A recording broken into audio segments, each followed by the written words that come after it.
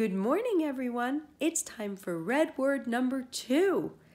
Here's our sentence My dog is leaning against my leg.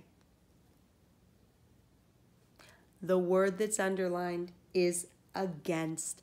The word against means right next to, against, right up against, right up next to. The reason it is a red word, and it's a long one this time, if we stretched it, we would say against, against. And we don't say against, we say against.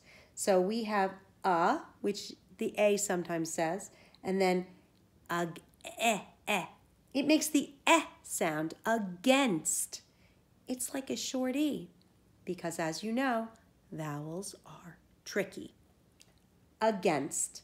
We spell against A G A I N S T. If you know how to spell again, ST at the end just makes it say against. We have mostly downstairs letters. G goes into the basement, and T is an upstairs downstairs letter. So let's practice writing against. We are going to start right below the middle line at the two o'clock dot with A and circle around, come up to the middle and down. G, we're going to actually make an A, but then into the basement. And then another A, circle around, line down. I is a line down middle to bottom with a dot in the upstairs and start at the middle line, come down, up, and scoop all the way around. S start at the two o'clock dot, uh, scoop around one way, scoop around the other way. And the T is upstairs all the way down with the line across. Three times against. Ready? Right. A, G, A, I, N, S, T. Again, A, G, A, I, N, S, T. One more time. A, G, A, I, N, S, T. Now for our tapping.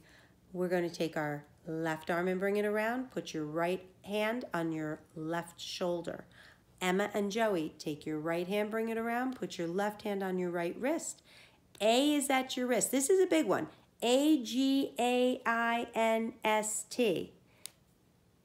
A G A I N S T. End at your shoulder. Everybody else, start at your shoulder.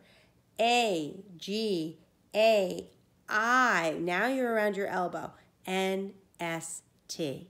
Okay, so we're going to do it three times.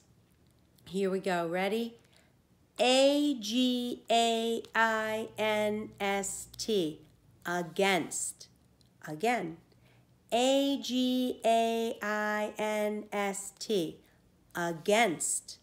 One more time. A G A I N S T. Against. That's a big long word, but I know you can do it. Have a wonderful day.